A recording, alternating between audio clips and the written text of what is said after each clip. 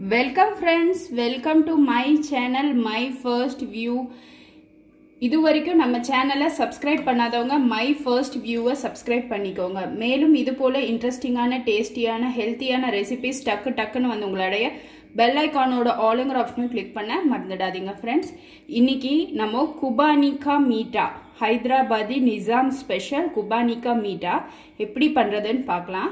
குபானினா ஒன்றும் இல்லைங்க ஆப்ரிகாட் தான். எப்படி பண்ணுறதுன்னு பார்க்கலாம். ஹைதராபாதி நிஜாம் ஸ்பெஷல் குபானிகா மீட்டாக்கு தேவையான பொருட்கள் என்னென்னு பார்க்கலாங்க.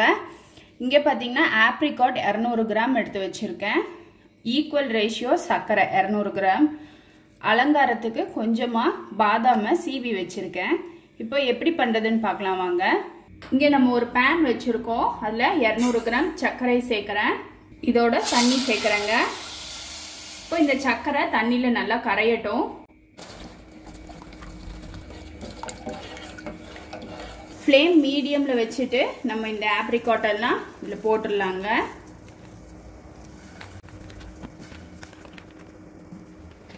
இப்போ இது மீடியம் ஃப்ளேமில் மூடி வச்சு ஒரு பத்துலேருந்து பன்னெண்டு நிமிஷம் வேக விட போகிறோம்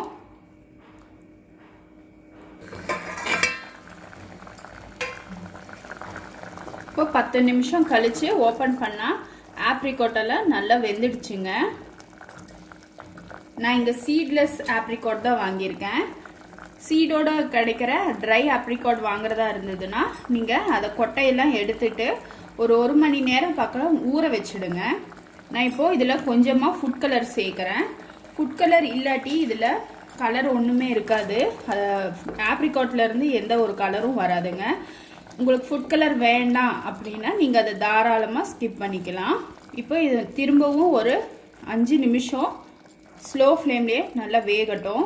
இப்போ பார்த்தீங்கன்னா ஆப்ரிகாட் ரெடி ஆயிடுச்சு. குபானிகா மீட்டா ரொம்ப சூப்பராக இருக்குங்க. இதை சூடாக சாப்பிட்றத விட ஃப்ரிட்ஜில் வச்சு சில் பண்ணி சாப்பிட்டோன்னா ரொம்ப சூப்பராக இருக்கும். அப்படி இல்லைன்னா ஐஸ்கிரீம் மேலே வச்சு கூட சாப்பிட்லாம். ரொம்ப ரொம்ப சூப்பராக இருக்குங்க. உங்களுக்கு இந்த குபானிகா மீட்டா ரெசிபி பிடிச்சிருந்தா லைக் பண்ணுங்க ஷேர் பண்ணுங்க. மறக்காம மை ஃபர்ஸ்ட் வியூக்கு சப்ஸ்கிரைப் பண்ணுங்க.